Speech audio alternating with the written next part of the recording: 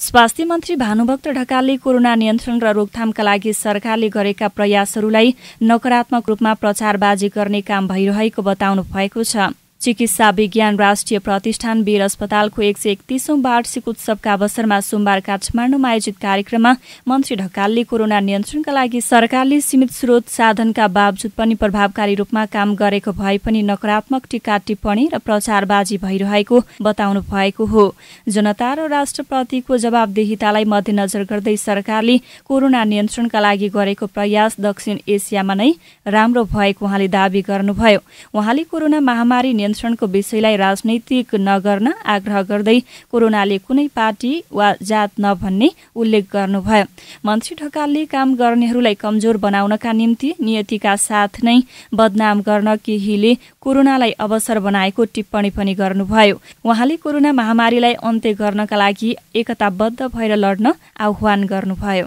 शक्ति सम्पन्न राष्ट्रहरूको स्वास्थ्य नीतिप्रति जनता र राष्ट्रप्रतिको र साधन स्रोत भएको हाम्रो जस्तो मुलुकमा हामीले निर्वाह गरेको यो भूमिका।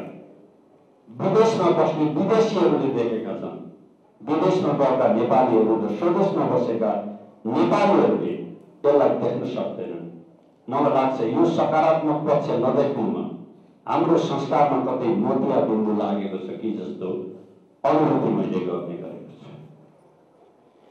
मलाई लाग्छ आज कोभिड नाइन्टिनबाट विश्वमा मृत्यु हुनेहरूको दर रेट कति छ हामीले जिरो दशमलव दुईभन्दा माथि त्यसलाई चढ्न दिएका छैन।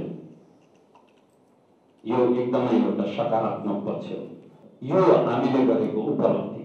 हामीले नै देख्न सकेका छैनौँ। लडाइँ त फेरि पनि डाक्टर साहबहरूको नेतृत्वमा हामी लडिरहेका छौँ। मलाई लाग्छ हामीले धेरै अभावहरूका बिचमा पनि यो खालको लडाइँ लडेका छौँ यसले एउटा राम्रो पक्ष दिएको छ गर्मीहरूका लागि हिम्मत भएकाहरूका लागि कमजोर बनाउनका निम्ति नियतिका साथमै बदनामी गर्नका लागि मान्छेहरूलाई लाग्नका निम्ति अहिले एउटा अवसर प्रदान गरेको छ यसको न्यूनीकरण यसको समाप्तिका लागि कोही लाग्न आएको भने त्यसका विरुद्ध विस्मरण गर्नु बदनामी गर्नु त्यो नै एउटा प्रमुख काम भनेको छ। त्यसले गर्दा म यहाँहरूलाई के आग्रह गर्न चाहन्छु भने अहिले हामी महामारीका विरुद्ध जुन लडाइँमा छौँ यसको कुनै पार्टी छैन यसको कुनै जात छैन यसको कुनै लिङ्ग छैन यसको कुनै धर्म छैन यसको कुनै भूगोलको बााउन्ड्री छैन यो कुनै देखिने छैन।